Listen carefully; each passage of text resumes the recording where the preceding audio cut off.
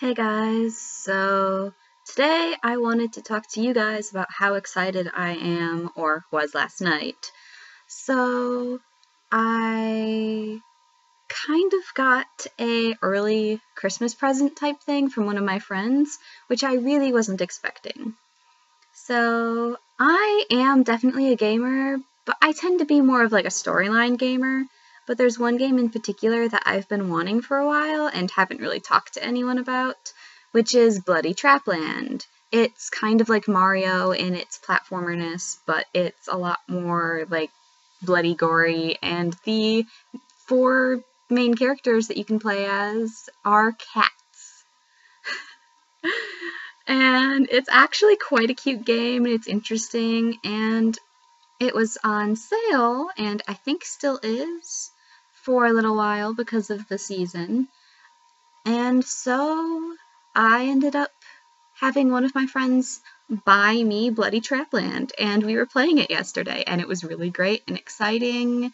And we played multiplayer, and I wasn't horrible at it, which was surprising because, well, I mean, I wasn't great at it either, but.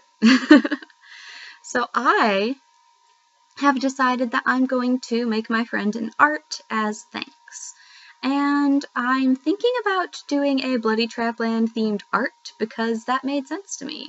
And so, because I play as the green cat with the blanket usually, I'm going to make myself like him and probably make my friend one of the other cats and do some sort of. I don't even know what I'm going to do with it, but I'm going to make something interesting. And I'm hoping that the two of us, or me and some of my other friends who might end up getting the game, will be able to play it and have multiplayer fun some more. So I'm probably going to start doing that art as soon as the holidays are done because I've got a bunch of other things to finish up, like finishing coloring Christmas cards and finishing my Secret Santa writing. So I'm going to do that. But I have a question for you guys. Um, are there any games or other activities if you're not into gaming that you really like to do with your friends? Like I've never really been much of a multiplayer gamer, but playing Bloody Trapland with a friend is super awesome and I think really the way to play it. So I just wanted to see what you guys like doing with your friends.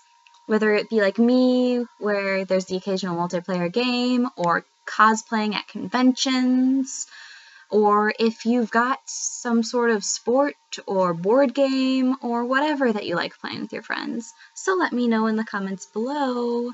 And as always, I'm open to suggestions and ideas for what to talk about. And until next time, today was Vlogmas 22nd, getting real close to Christmas.